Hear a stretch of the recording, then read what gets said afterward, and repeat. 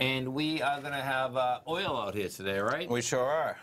so Let's this go oil market this- has been uh, struggling, folks. And neither, uh, in a yeah, uh, right. pretty amazing. Can't get a bid no matter what's going on in the Middle East, no matter what is happening, because of the just uh, huge numbers of supplies that Yeah. seems to be coming on the market Right. on a continual basis. So we get crude EIA inventory numbers in 12 minutes from right now, 10:30 a.m. Survey number was looking is looking for an increase of about 1.1 million barrels. What's going on with the whisper number, man? The market not so much inclined to say that we're looking for the build that the survey number's looking right. for. 55,000 gallons, five barrels, right? Yeah, 55,000, which is basically flat um, for Yeah. that market. And let's pull up and see where we're trading at. So I'm going to go into commodities. I'm going to go into crude. I'm going to close these out as the market just climbs higher. I believe we just got a new all-time high print on the S&Ps We as did well. by 2,500. Not bad. So we got crude right now trading just a hair under $58. We're looking at the February contract. Uh, so what's nice is right away I know the Yeah. 230s are going to have a daily limit in terms of we can get exposure from $58. I'm going to jump back to those in a moment because first I'm going to see where we're at on the 11 a.m.s. All right, so we have $58. This will give us a half hour after the news comes out for exposure. There's our bullish spread, 58 to 59.50.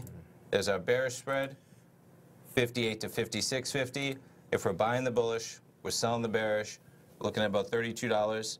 Um, now, just something to be aware of here. This spread, five, six, seven, it's closing a bit here, but there's a little bit of a bigger versus, there's three ticks, two tick bid offer spread on the bullish, and it was four to five to six ticks here on the bearish. Yeah, right? That's a little bit, you just want to be careful when you're, you're paying that big of a bid offer spread because they really matter percentage-wise. Oh, you know, yeah. if you're paying and like I said, 32 about, so let's jump to the noons and see if we have a similar price. So we sure do. So those were the 11s. And what's interesting is, so for the Yeah. 11 alone, you're paying 58.11. The contract's at 57.91. If you want an extra hour of exposure, they're going to make, make you pay about six pennies. Yep. Not bad, man, for an No, extra hour on It's one not. side. Even if you're just bullish, you're looking for a rebound. Not, and not the way back. the oil's been moving. Yeah. I mean, six pennies is like a. Agreed. Yeah. Agreed. Um, so there would be your bullish spread. There's our bearish spread. Again, we're buying the bullish. That's costing us $19. We're out of the money. We're selling the bearish. That's costing us 21. We have about two to three pennies. cents. Yep. So you're paying 40 cents for the noon, and then let's see where these big. Now the difference here, of course, is that you only have a buck 50 of exposure for the 11 and the noon. You're going to get five dollars of exposure. Now, normally, before all these geopolitical This is the 230. Yes. Right. Okay. And before all these geopolitical things going on, I would say very rarely you're going to get a buck 50 movement by 230 in Right. either direction. But man, oh man, you don't know. There could be, Oh, unfortunately, I hope not, you know, some tensions, some missile strikes, some, a reaction from Iran, a statement from the president. Uh, 58 to 63, you're buying at 58.26. You're six pennies out of the money. So you're paying $26 for the bullish. Bearish spread, you're paying $29. The difference being you have a little bit of intrinsic value. Not bad. So you're paying, what, 50 cents, $54 um, for both sides of the market until 230.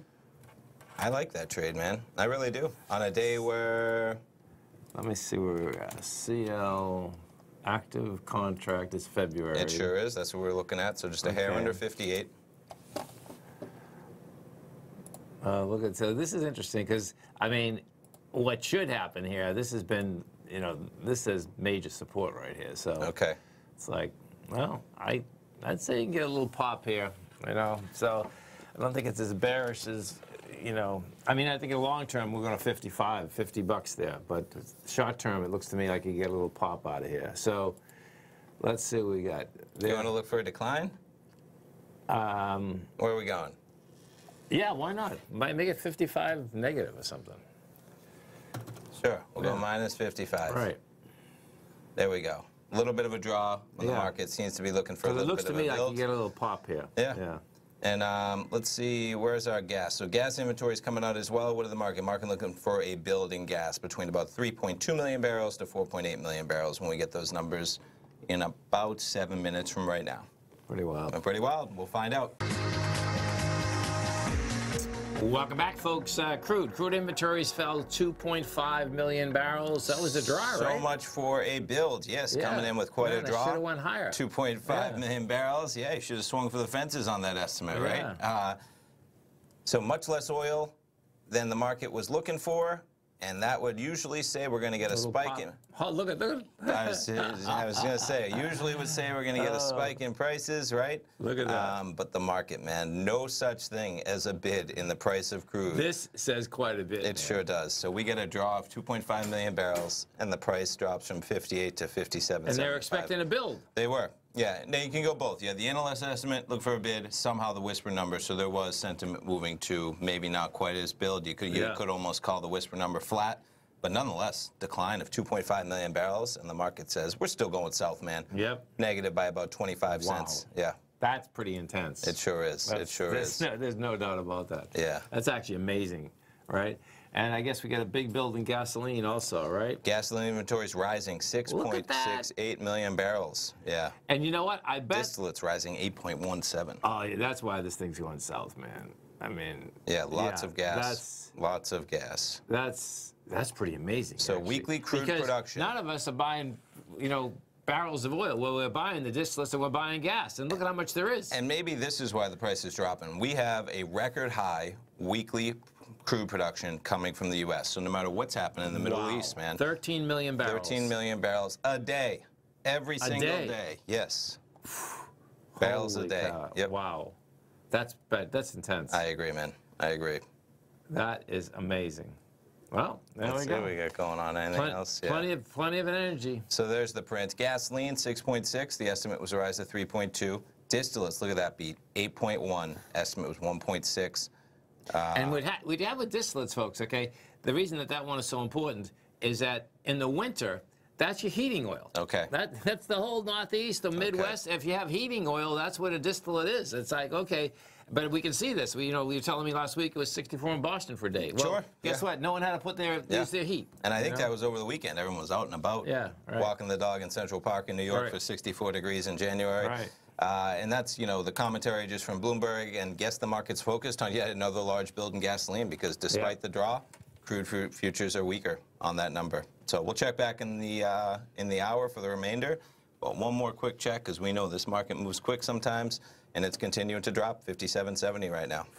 That's got to be frustrating, man. If you are a bull, and I don't know why you would be a bull Right. in crude oil right, Right. now with what's Right. going on, and maybe this will shake it off from you. But boy, oh boy, you get a, a miss by millions of barrels, and, uh, and the market says, nope, we're going south, man. It's a huge one. Yeah. Welcome back, folks. Uh, Dow, Dow up 151, Nasdaq up 41, S&P's up 8. We have uh, gold up 550, silver up 20 cents, and uh, notes and bonds, man, they're not giving it up, so it's pretty wild. I'm just going to check back in on crude. Oh yeah. And uh, it's continuing that drop, man. We touched 57.38, so we were trading about at $58, talking about 60, 65 pennies to the south. Uh, quite a level on the price of crude. And if you put this on a little bit of a longer time frame, now this is going to get a little funky, but there you go. We're at lows, man. Going back to December, uh, far cry from where we were just a week ago. amazing, man. Yeah.